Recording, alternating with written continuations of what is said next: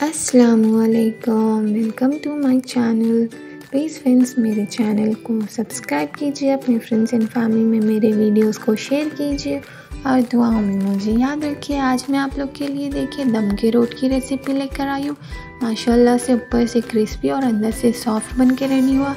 देखिए मैं आपको तोड़ के भी बता रही हूँ। बहुत ही यम्मी एंड डिलीशियस बना है, जैसे बेकरी में मिलता है। मैंने सेम वैसे ही बनाया है। आप लोग भी ज़रूर ट्राई कीजिए। दम के रोट बनाने के लिए देखिए मैंने सारे इंग्रेडिएंट्स निकाल लिए हैं। बेकरी स्टाइल दम के रोट बनाने के लिए देखिए मैंने।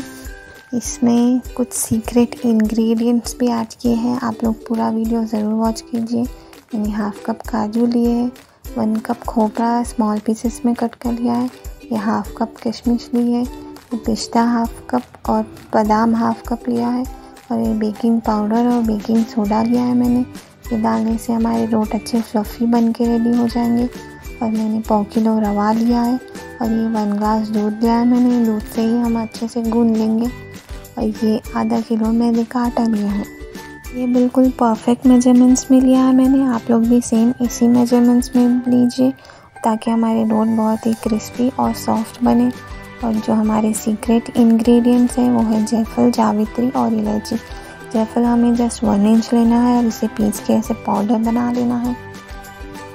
और मैं हमारे ड्राई फ्रूट्स जो है, इसे ग्राइंडर में दरदरा पीस लूँगी।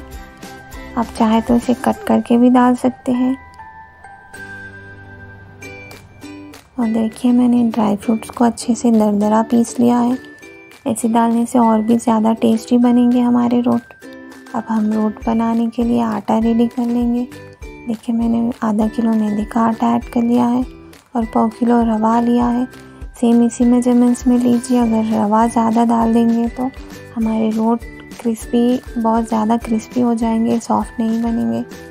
और ये ड्राई फ्रूट्स ऐड कर लिए मैंने, जो दरदरा पीस लिए थे।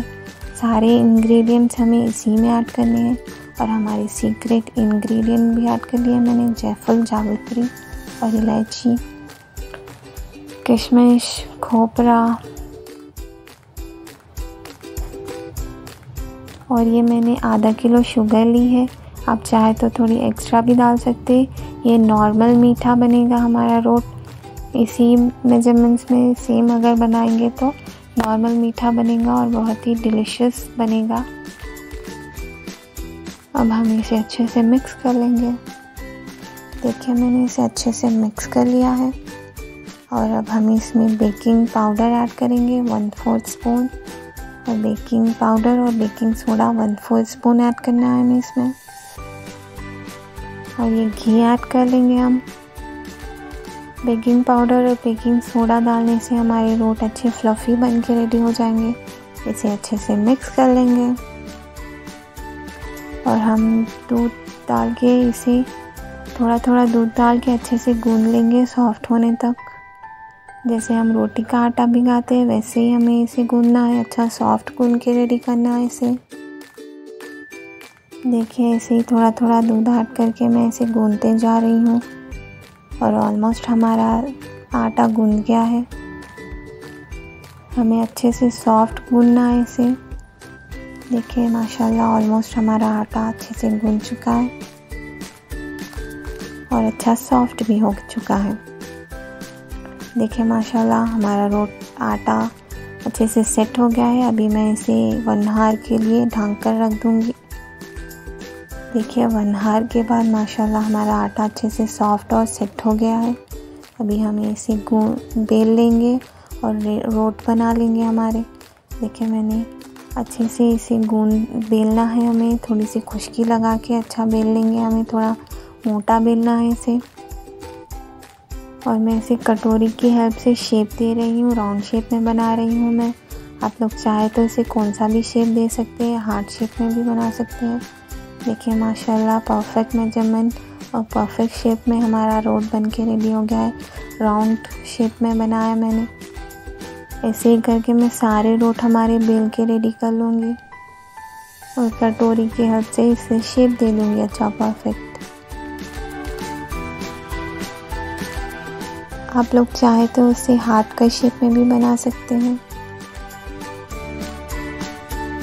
देखिए, खुश्की लगा के हमें अच्छे से बेलना है। खुश्की नहीं लगाएँगे तो ये चिपक जाएगा हमारे बेलन को। थोड़ी थोड़ी खुश्की लगा के अच्छे से बेल लेंगे। और देखिए, माशाल्लाह, मैंने सारे रोट ऐसे ही बना के रेडी कर लिए परफेक्ट शेप में बने हैं और मैं इसे बादाम से गार्निश कर रही हूँ। अच्छे से प्रेस करके बादाम हमें इस पर लगाना है। माशाल्लाह देखिए टोटल ट्वेंटी सिक्स हमारे रोट बन के रेडी हो गए हैं। मैं इसे बेकरी में सेकने के लिए दे रही हूँ। तो देखिए, आटे से कोटिंग करके मैं इसे कवर पर हमारे रोट रख दूँगी। इसे अलग अलग ऐसे ही सेट करना है, नहीं तो एक दूसरे को लग जाएँगे। इसे मैं बेकरी में सेकने के लिए दे रही हूँ। इसीलिए अच्छे से हमें एहतियात से इसे देना होगा। इसे घर में सेकेंगे तो उतना अच्छा परफेक्ट बेकरी स्टाइल नहीं बनेगा। इसे बेकरी में ही सेकने के लिए देंगे हम अगर आपके पास अवन है तो आप लोग अवन में भी सेक सकते हैं। देखिए, माशाल्लाह से हमारे रोड बेकरी से सीख कर आ गए हैं। बिल्कुल परफेक्ट और मज़ेदार हमारे रोड बन के रेडी हुए हैं। आप लोग भी सेम इसी मेथड्स में बनाइए। थैंक्स फॉर वॉचिंग अल्लाह हाफिज़। मेरे चैनल को लाइक कीजिए, शेयर कीजिए और सब्सक्राइब कीजिए। बेल आइकन को ज़रूर प्रेस कीजिए।